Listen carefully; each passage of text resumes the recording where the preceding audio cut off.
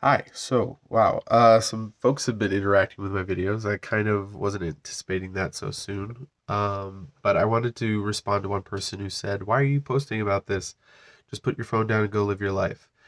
I am a software engineer and a dad and live with my wife who often wants to watch shows with me. I'm not getting rid of screens entirely. I can't do that. Um, but what I can do is stop binging six, eight, ten hours a day, which is what I was doing before.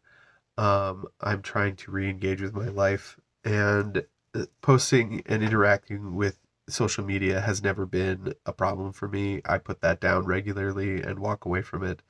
It's not addictive to me.